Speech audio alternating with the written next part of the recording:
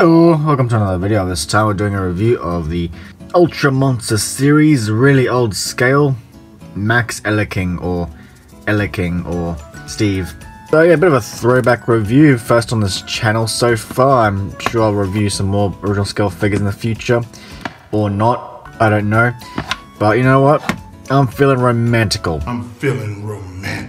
So here I am reviewing an old ass figure. By the way, I've had that clip saved on my computer for god knows how long and just never had the chance to use it, so that's why I said that. But anyway, here we have the figure, so Max Eleking here. Technically first appeared in Ultraman Max, but the regular Eleking actually does appear in a Showa era Ultraman series called Ultra 7. I'm sure you guys would have heard of it because uh, it's a bit of a fan favorite series.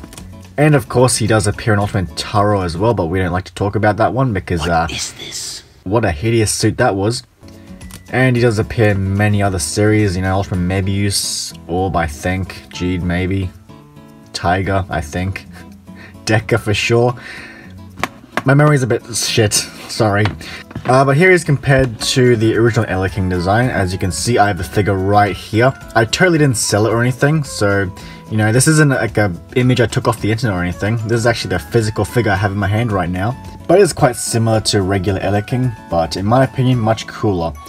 And I believe this is a little bit closer to his concept design from way back in the day of Ultra 7. Um, because I believe the concept Eleking was a white color instead of a cream color, so that's cool. I much prefer the white, by the way. So already I am kind of regretting on reviewing uh, Eleking because this tail and this small review space is uh, not a good combination.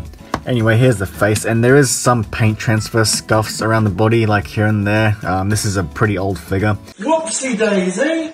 And believe me, this figure was way worse before. It took me like a couple hours to clean this figure, and uh, yeah, it still has a lot of spots, but uh, it is what it is. It's an old figure, so sorry about that. But here's the face, and yeah, it's been nicely sculpted, nicely painted. It does have a creepy looking face. It's kind of funny looking as well, but uh, it is nicely sculpted and very realistic, by the way.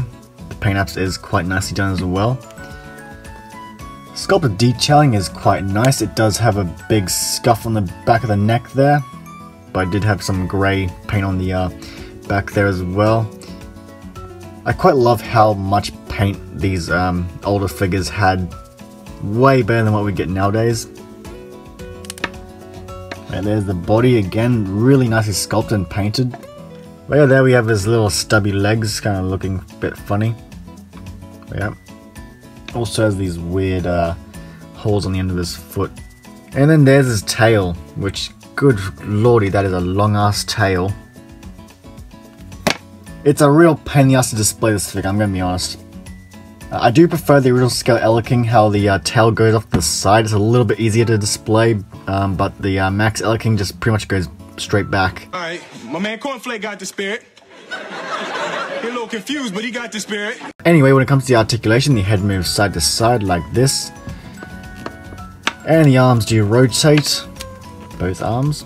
Both legs also rotate. And the tail kind of rotates, not really. It's a bit of a weird um, joint, like it's not meant to. Uh, it is a separate piece, but the way it's molded, it's a bit of an oval shape, so it's not really meant to, you know, rotate, but it can, so I'm going to count as a point of articulation, so yeah, when it comes to articulation, it's pretty limited, but that's to be expected with these uh, vinyl figures. They're not meant to be, like, you know, SH Figuarts level of articulation.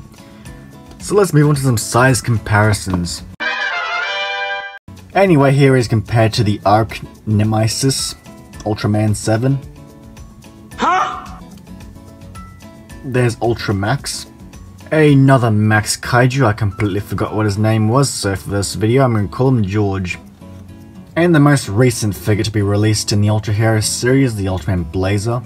But anyway, that is with the video. I'm over here. Like, subscribe, want to. Next time, bye.